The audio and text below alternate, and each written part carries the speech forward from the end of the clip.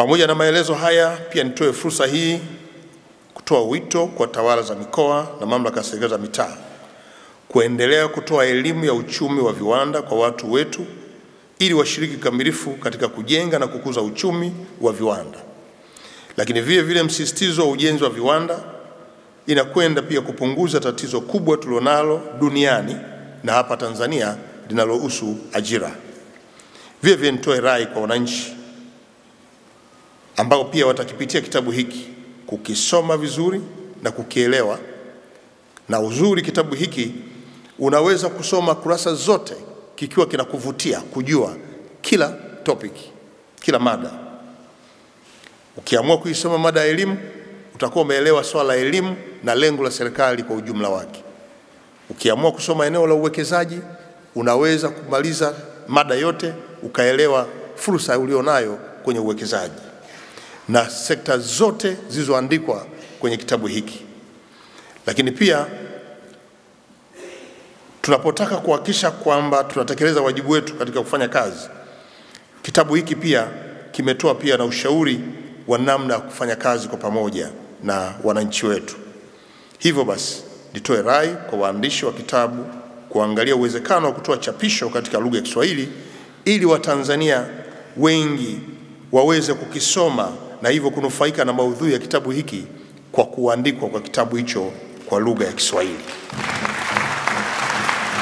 Kazi ya fasihi andishi ni kutunza kumbukumbu. Kwa hiyo uandishi wa kitabu hiki utatunza kumbukumbu ya kazi ambayo imefanywa na rais wetu ambayo Watanzania wengi wanaiona na kuithamini, lakini wapo wengine ambao pengine hawaifahamu kwa undani kama ambavyo wanastahili kuifahamu. Kwa hiyo kitabu kitasaidia katika kuhakikisha kwamba mambo mazuri ambayo rais wetu ameyafanya yanafahamika kwa ufasaha, lakini si kwa kizazi cha sasa. Fasihi ya andishi itatunza kumbukumbu hata kwa vizazi vijavyo. Kwa hiyo nichukue nafasi hii kuwapongeza kwa dhati waandishi wa kitabu hiki ambao wametambua mchango na kuweza kuweka katika maandishi, na kwa kweli mchango wa Dr. John Pombe Magufuli unathaminiwa na Watanzania, na ndio maana hata katika uchaguzi mkuu wa Oktoba 2020 alipata ushindi wa kishindo ambao haijawahi kutokea katika historia ya nchi yetu. Yeye ndiyo, kwa ufupi ni kwamba yeye ni mwasisi wa mambo mengi tu tunayoona hapa yanayofanyika hivi sasa. Alikuwa anayafanya kwa kapasiti yake kama waziri, lakini ameyasimamia zaidi kwa nguvu zaidi wakati akiwa rais. Hata masuala ya utumbuaji alikuwa hatumii terminology ya utumbuaji, lakini tunajua alipokuwa waziri wa ujenzi ni wakandarasi wangapi wamewafuta ambao walikuwa watekelezi kazi zake vizuri, wahandisi wangapi, consultants wangapi, na alikuwa anatangaza. Kwa hiyo ni kwa sababu tu ya terminology tumbua tumbua tunasikia tumbua, lakini usimamizi katika sekta yake ndogo ya ujenzi, usimamizi na ubadhilifu katika sekta yake amekuwa anaisimamia tangu alipoanza utumishi ndani ya serikali akiwa waziri wa ujenzi. Tunao maprofesa wengi sana wamebobea kwenye maeneo mbalimbali.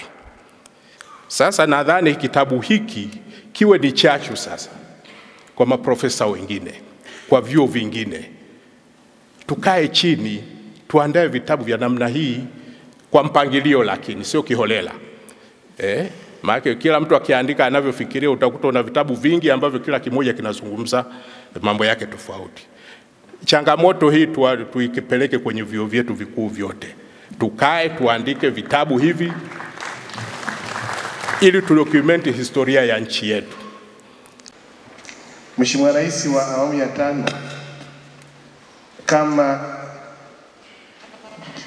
title ya kitabu ilivyo, ni mwana mageuzi wa kweli na amezungumza kwa ufasaha sana Mheshimiwa Waziri Lukuvi ambaye pamoja na kwamba ni waziri lakini amefanya naye kazi ndani ya baraza la mawaziri.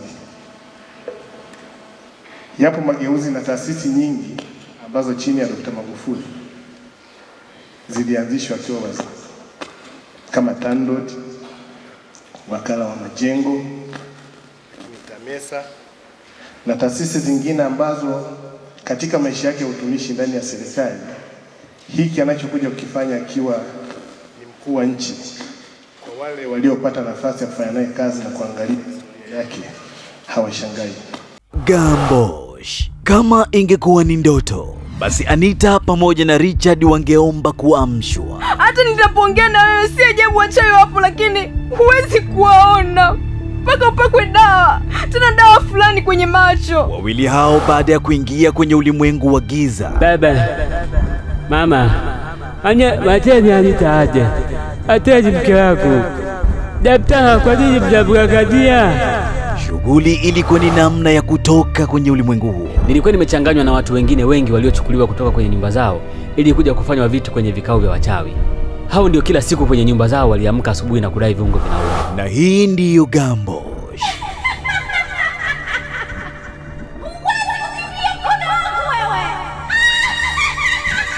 Ulimwengu wa giza. Fuatilia hadithi hii kupitia Voda Hadithi kwa kupiga simu namba 0901767676 au tuma neno Shigongo kwenda namba 15460.